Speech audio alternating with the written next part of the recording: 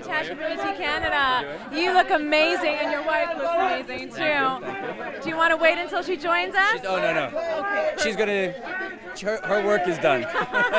and she is working it. Uh, okay, so let's talk about this film. Obviously, Okay. uh, you play a Canadian in, in a really serious type of film. I'm wondering, um, how did you go about portraying your character, and what made you want to sign on?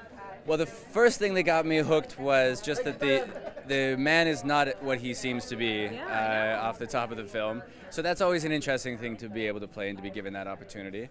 And oh man, it's much quieter when she's not around. I can actually.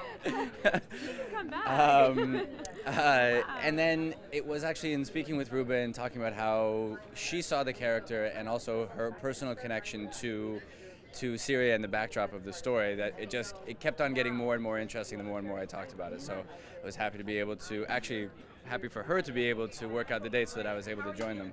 oh, okay. So you were busy doing something else. Is that? Well, I was working on Fringe at the time, and if it wasn't for Ruba being so sort of type A and strong as she is, uh, I, they wouldn't have been able to make the dates work. So it all it's a little minor miracle that I got to make the movie. I mean, there's so many world, real world issues that are going on right now in Syria, and especially today, Angelina Jolie is there and she's helping the refugees again. And I'm just wondering, what do you think about all her work that she's done?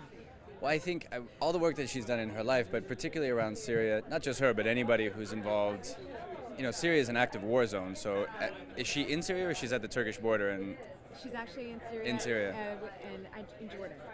So obviously that's a huge personal risk and I think by lending her name and credibility to give it a human face you can only help and I don't know that right now there's any answer to that problem. I mean unfortunately Syria is coming apart at the seams and it's going to have to probably fall apart to be put together back or back together again. So you know, as much as anybody can to shed attention or, or shed light and bring attention, I think is important. But unfortunately, it's one of those situations that has to play out before then the international community can come in and try and help make what is already bad not any worse.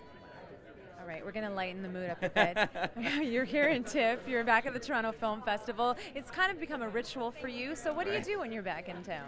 Well, sadly, this time is extremely brief. I got in last night at 2 a.m. I'm leaving tonight at 10. Wow. Yeah, so no time for play. No time for play this time, but uh, it is a pretty good time up here, the festival. So, uh, and each year is its own beast, which is kind of the fun of it. I was going to ask you if it was date night tonight, but is there No even- date night. I, I am, in fact, I'm about the worst date you could possibly have because immediately after uh, dinner and a show, I'm leaving. Oh.